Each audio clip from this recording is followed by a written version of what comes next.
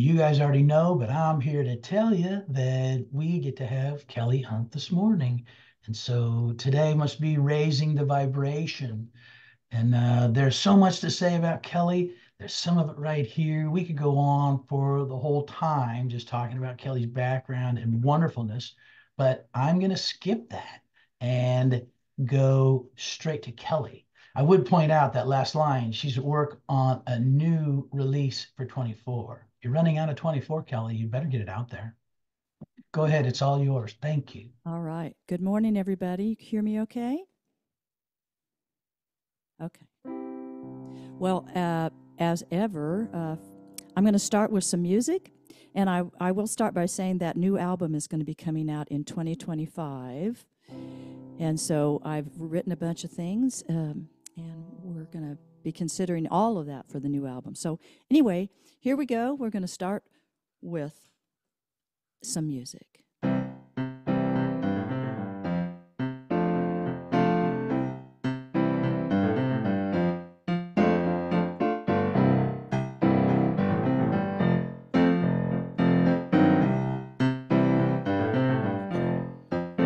If you're ready, if you're ready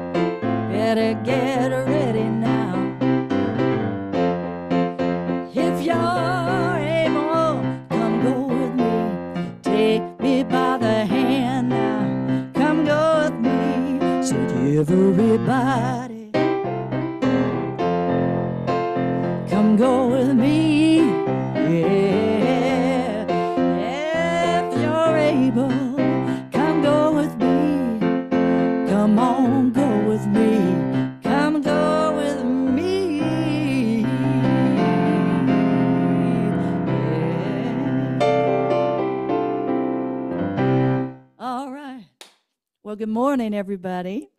It's uh, great to be back with y'all. Um, I'm going to be talking about raising the vibration, which is already happening here with this group. And uh, matter of fact, it's happening all around the world as I speak. And I'm going to tell you, uh, give you a couple of examples of that here in just a minute. Socrates said, The secret of change is to focus all your energy not on fighting the old, but on building the new. Building the new. So it serves us to remember just how powerful we are as co creators of our own lives. Because we not only affect ourselves, but we affect our world when we do. This morning, actually, during this service right now, there is a church that is led by Minister Reverend Darlene Strickland, who is a friend of mine. And Reverend Darlene was the minister here in Lawrence, Kansas, where I am, at Unity of Lawrence for many years. And, and for a, a time during that period she was there, I was a music director for a while.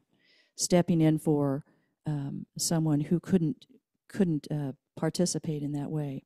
And I knew then that she was extraordinary uh, as a friend, on a personal level, and as uh, a minister out in the world. She was very community oriented, and she still is.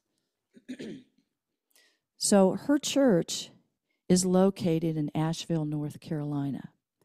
It's Unity of the Blue Ridge. And so, of course, when Hurricane Helene happened last week, uh, we were very concerned about many friends uh, in Florida and um, that whole area, but we were really surprised that Asheville, North Carolina, had been so deeply affected. So we immediately reached out, tried to get a hold of her, and didn't hear uh, from her for a while. Because, of course, they had no internet, they had no cell service, they had no electricity, no water. And in her congregation, they have still only heard from 25 to 30 percent of their congregation. They haven't been able to locate everyone yet. But what Darlene has done in her extraordinary way to focus on building the new as opposed to focusing all the energy on fighting the old or what was happening. And of course she's human so it was it's happening and still happening around her. You have to focus on what's happening to be able to deal with it. But she did something truly extraordinary. She began to uh, anytime she would get a little cell service or someone would allow her to plug her phone in somewhere she would start making posts on facebook a saying i'm okay checking in with her congregants, checking in with her community, and reporting what was happening there. She was and is raising the vibration. So, as almost as if a miracle, they are able this morning to do a Zoom service in combination with a live service at Unity of the Blue Ridge in Asheville, North Carolina. And this only came about within the last day or so it is truly miraculous noting that what she and everyone in that area in, in, in the U.S. that's going through this is going through. And I want to read a little something to you. She would check in and say, It's day two. Here's what's happening. Day three, we still don't have electricity, but here are some of the things that are going forward. Well, this is a post that she made. And this was two days ago. And it focuses on vulnerability. She had decided that even though their home, she and uh, her family's home had no electricity, um, she would be reaching out to as many folks in the community as she could. And this includes the entire community, not just her congregation.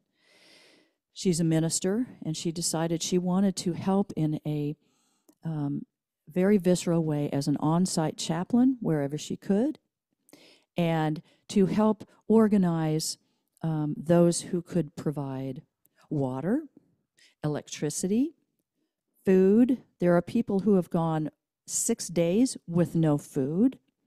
Um, so I want to read something to you. She went to a community center where many people were being taken who had been rescued there was a hospital that was had to be evacuated, and those patients, some still on oxygen, had nowhere to go, and they were brought to this center. And she decided to volunteer as a chaplain. And she she says, as I visited with individuals, I could feel a sacred presence entering the space between us. Simply through the act of their open heart sharing. What began as a simple conversation became a vessel for healing. The power of God, already alive within them, became more visible, more palpable, as they gave themselves permission to speak openly about their lives and to be seen and heard. Perhaps without even intending to, they touched on truths that could only come to light through honesty and vulnerability. At first, there was no need for prayer. We simply talked. As they began to tell their stories of fear, grief, bygone days, past experiences, and present uncertainty, I saw how much they had been carrying in silence. The act of speaking, of telling their truth, created an opening, and I would add to that, began to raise the vibration. For many, this opening brought tears. They hadn't expected to cry, but in releasing their words, they also released their spirit. After an extended conversation, the man who hadn't eaten in two days, who refused food, accepted food. He ate a sausage biscuit and drank apple juice. It was more than just a meal, it was a sign of life stirring within him again. Can you feel that? Can you feel how that begins to lift some of that burden? And it's an immense human burden that they're living through. In the act of conversation, he reconnected with something deeper, something sacred, the light of God, ever present, had begun to shine through the cracks of his sorrow and loss, bringing with it a spark of life. This is the power of opening up from a place of empty. We make space for God's presence to move in and through us. We may not be seeking God, but in the vulnerability of our heart, we find the divine is already there as peace, as love, as strength, as connection and healing. And she ends by saying, I don't know what today holds. Lord knows I do pray that I get electricity restored, but I can tell you this it is truly possible for your soul to be completely satisfied in the midst of loss and longing. I'm going back to be a chaplain for a few hours today. Today we shall sing together. I love you, my friends. Talk about raising the vibration. I don't know about you, but I have never lived through anything like that before. And it took a choice for her to do that. She chose to go there. She also understands, and she has made this public, none of this is private information, that this is traumatic for her as well, and she is doing what she can to take care of herself. And as we saw before on the screen, we are fully human, we are fully divine. And she's one of the best examples of that I've ever witnessed.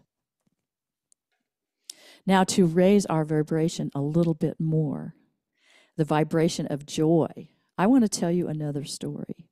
And it does not involve the heartbreak and grief of what's happening in Asheville. It involves a neighborhood wiffle ball team, a little baseball team. And many of you have seen this story and seen the video. But I was so tickled by this when it happened. And I read about it the next day. So, a man is driving his car in Kansas City, Kansas, and he happens to see a neighborhood group of boys playing a little wiffle ball game in the yard. And this guy loves baseball, loves it. So he had a day off and he was he he thought he would stop by and he got out of his car and he leaned over the fence where the game was. And these were boys of all ages, uh, from third grader up through high school. And some of them recognized him and some of them didn't. And he said, Hey guys, can I play too? And one of the younger boys wasn't sure about that because he didn't know who this guy was. But the older boy said, Guys, that's Salvy. It was Salvador Perez from the Kansas City Royals, the team captain. He's the guy that raises the vibration and the energy, not only with the team, but with the fans. And Salvador Perez was stopping by to see if he could play wiffle ball with these boys. So one of the kids ran in to ask his mom, who didn't know who this person was, and she came out and she couldn't believe her eyes. And they all said, Sure, come on in and play. And if you've seen the video, you know that he got right in there. He was there for 15 or 20 minutes. He picked up the bat and he was going to, you know, he was up to bat. And we, if you're familiar with Salvador Perez, you know that if he actually hit the ball, it would go way over the houses in the neighborhood and they'd never find it again. So the little guy who was the pitcher got his wiffle ball ready to pitch to Salvy. Salvy got his bat put back in place, and when he pitched, he did kind of a slow motion bat and barely tapped that ball. Just poop and he began to run in slow motion to the bases. There's first base, and he ran just fast enough so the boys could almost catch him. And it was a dear fun thing to see. And what I loved about that, he was having as much, if not more, fun than anybody. So by now, the neighborhood, uh, the neighbors are peeking out their doors and windows and coming outside and say, What's going on?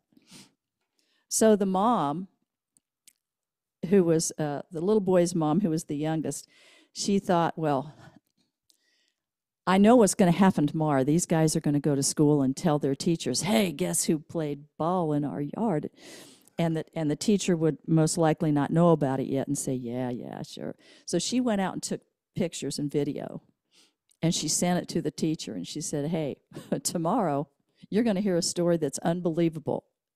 And it's true, and it's happening right now in my backyard. so, and then towards the end of his time there, it was his idea, Sal, Salvy's idea, to take a group photo, which I thought was very, very sweet. So he got the, all the guys together and took the photo. Many of you saw it in the Kansas City Star or saw it online, saw the video. And one of the things I love, he's got a big smile on his face, and so do the boys. And in the video, you can hear him laughing. You know, he's playing outfield with the wiffle ball, and he's just having a great time.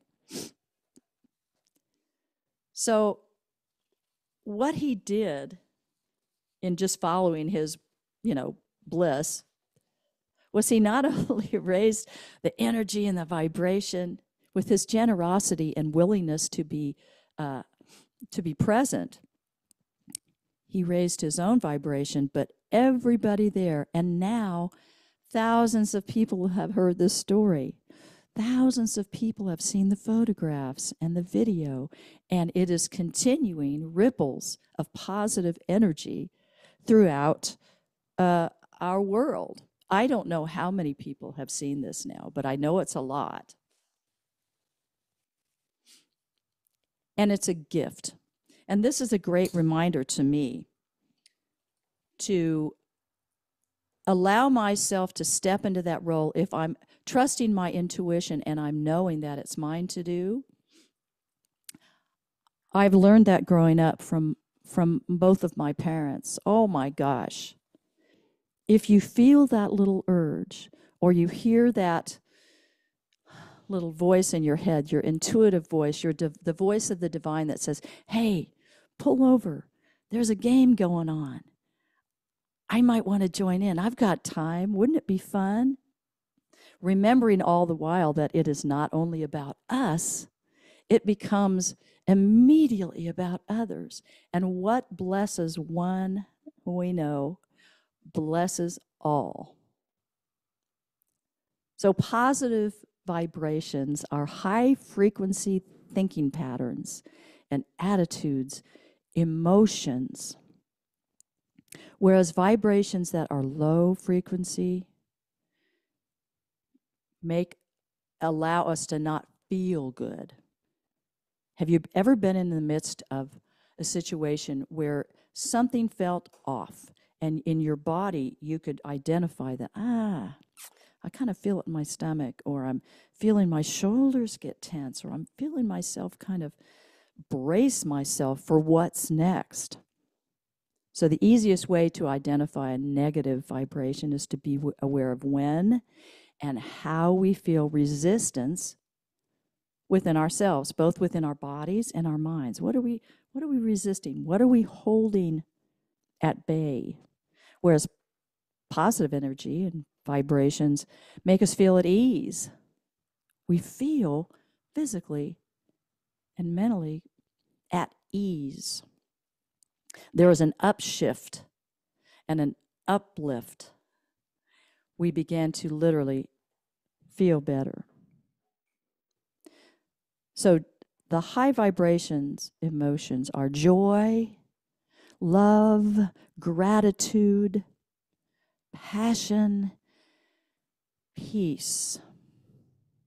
So every day when I read uh, Reverend Darlene's posts, she always includes gratitude.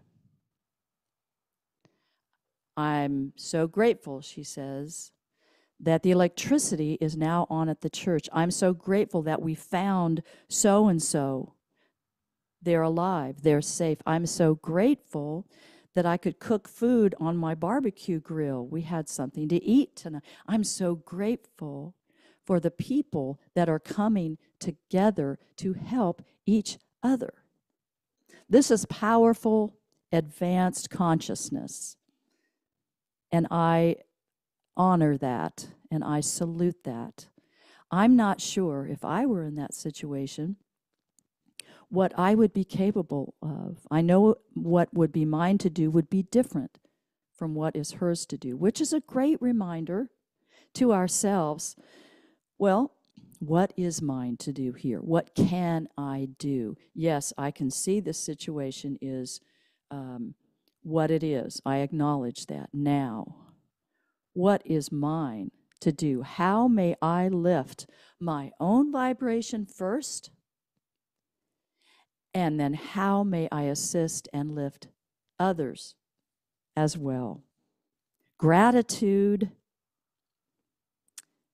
raises the energy. You'll see an immediate shift. Observe the beauty of the moment. Let it just blow your mind. It blows my mind every day to think. The beauty of kindness, the beauty of compassion, the beauty of sharing uh, the, the grief and loss with someone, the beauty of vulnerability, the vulnerable place where we can be honest with ourselves and say to someone else, you know, I could use some help. I am hurting. I need to tell someone this. And on the other side of that, I'm so grateful that you're here listening to me. I'm grateful right now to be here with all of you, to be invited into this sacred space with a community that I honor and that I have come to love and respect. I'm grateful that there is anything I want to say or sing that you're at all interested in hearing. My gratitude is immense this morning. We woke up, we had electricity, we had water, we had uh, food, we were safe in our home. And I don't know about you, but I understand more deeply what a big gift that is and allows me to go forward in my day.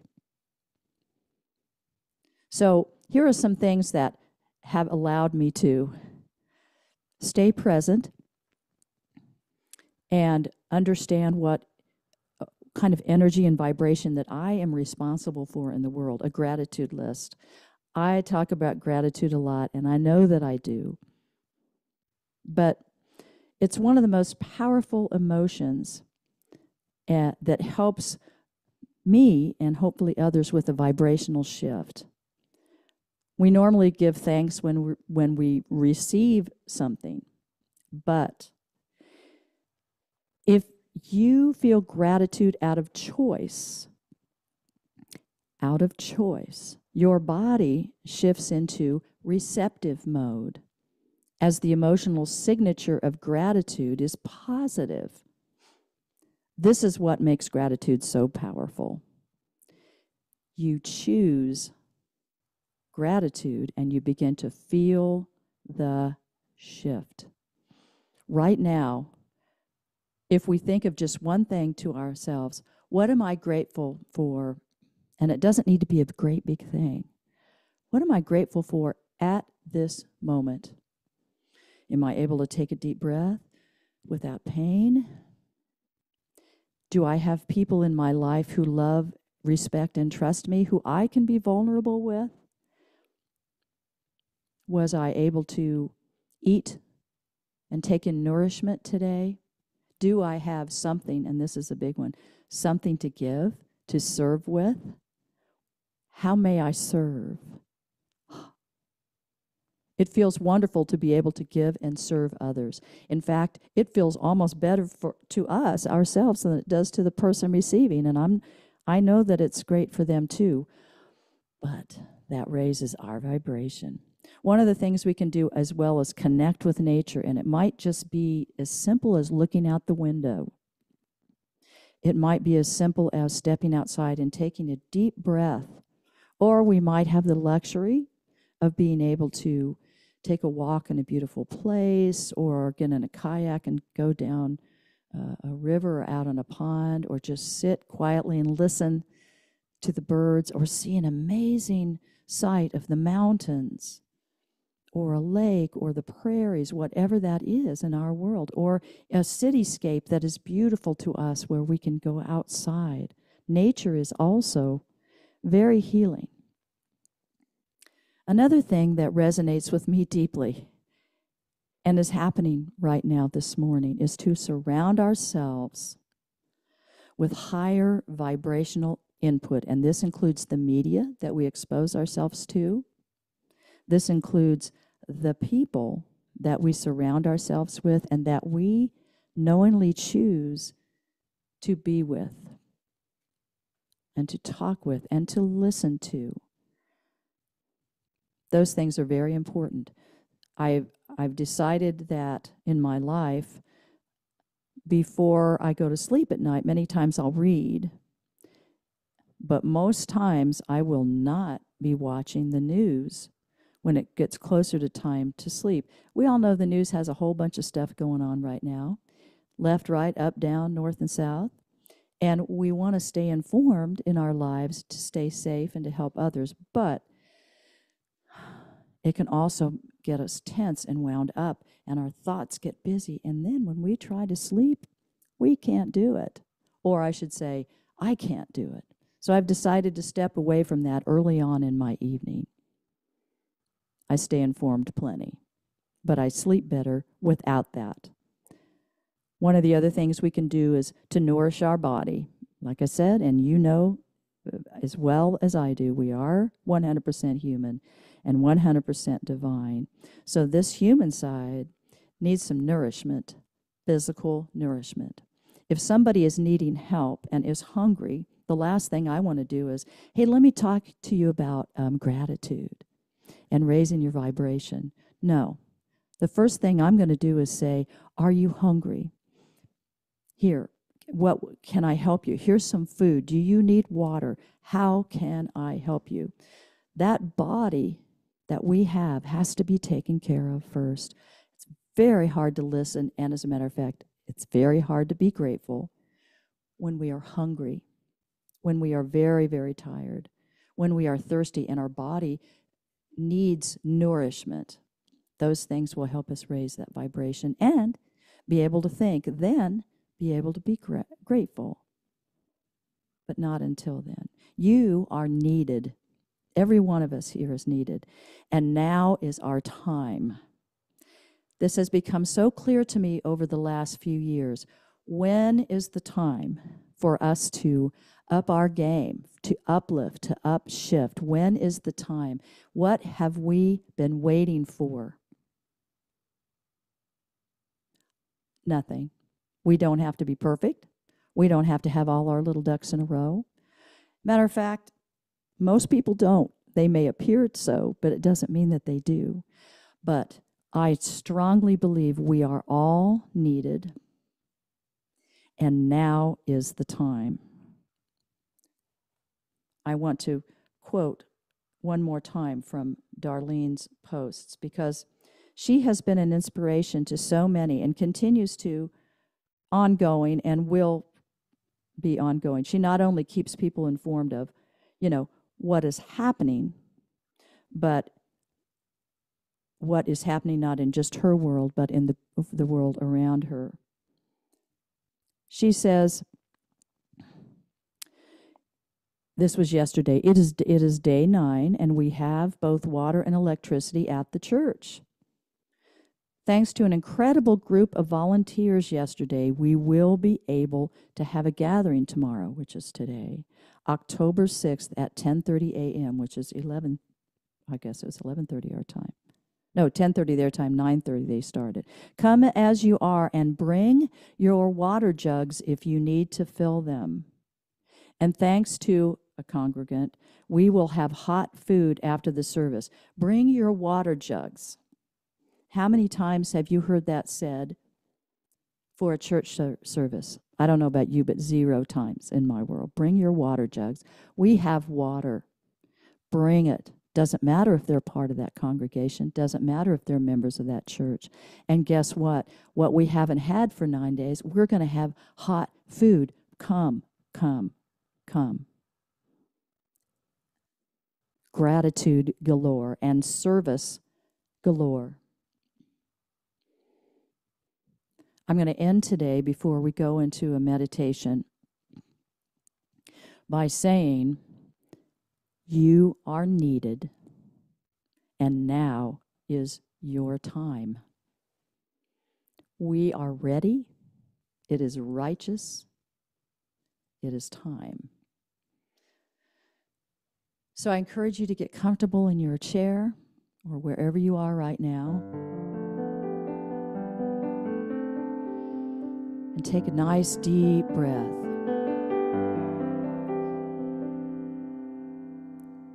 If you wish, close your eyes. Take another deep, slow breath.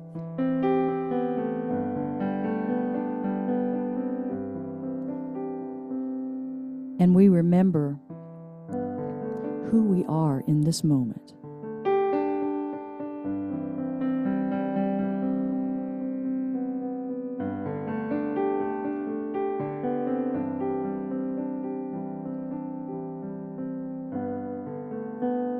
Presence of the one.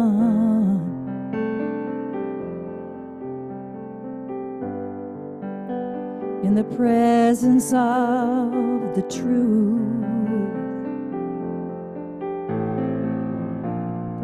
All is healed. All is whole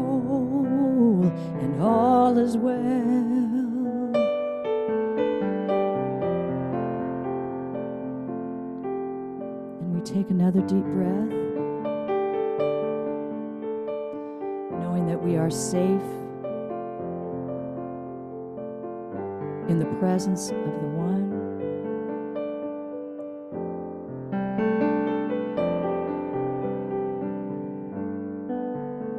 In the presence of the One.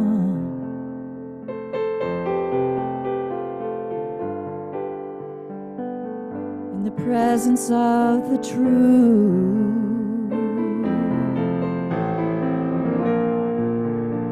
All is healed,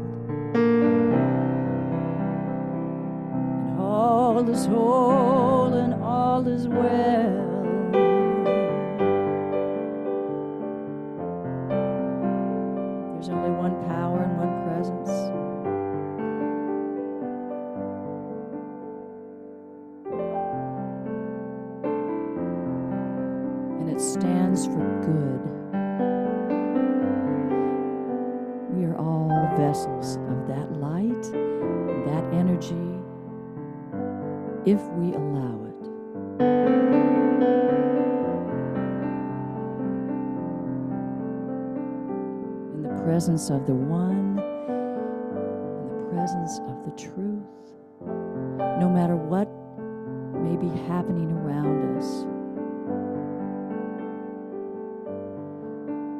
We know that the divine is within each and every one of us,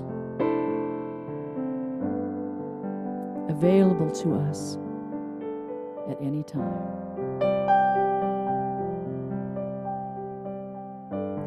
Despite outward appearances, all is healed, all is whole,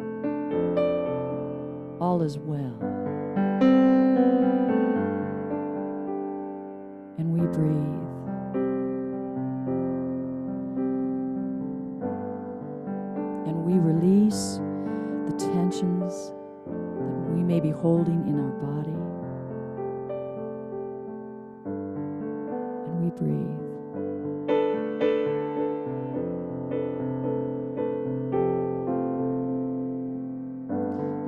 Presence of the truth.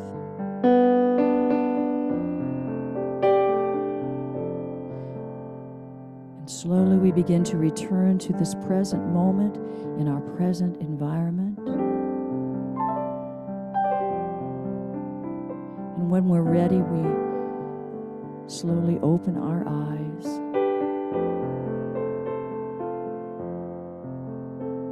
And remember who we really are.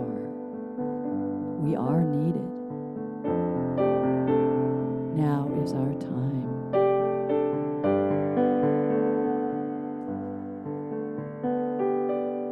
And with gratitude and presence, we walk into our day and know that we are equipped for whatever may happen today in our lives.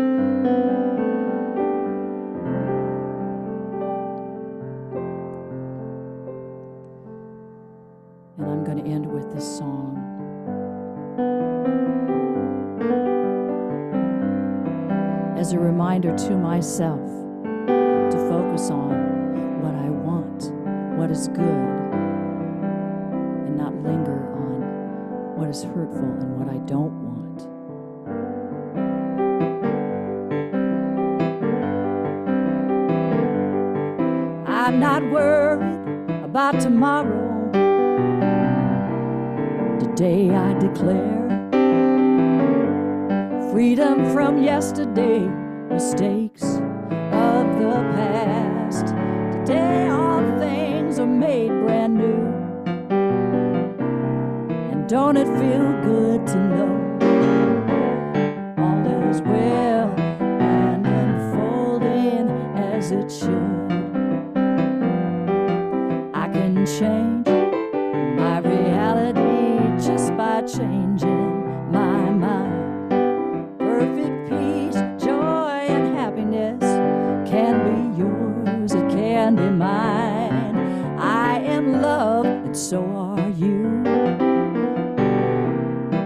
don't it feel good to know all is well and unfolding as it should?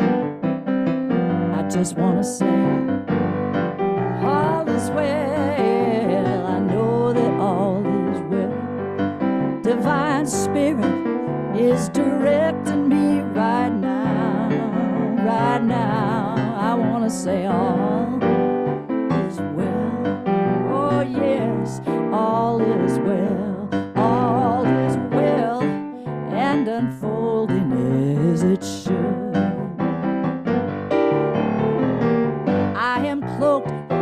Spirit.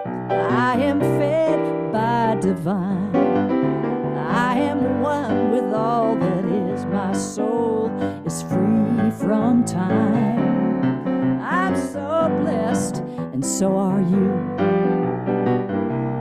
Don't it feel good to know all is well?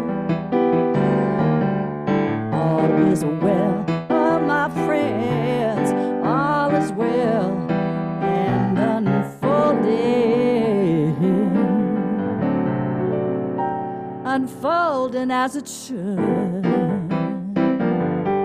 All is well